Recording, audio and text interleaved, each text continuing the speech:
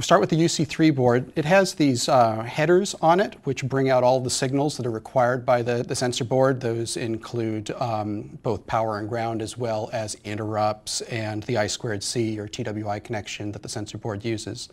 So I put that on these headers here, which are on the left side as I'm facing the board. And you can see that there's um, little white marks on one mounting hole on each of the sensor board and the UC3 board. As long as you get those lined up next to each other, you'll, you'll be just fine.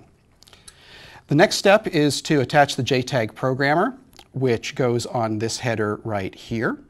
And um, the next step is simply the USB cables for both the uh, programmer and the board itself. So we plug in the programmer.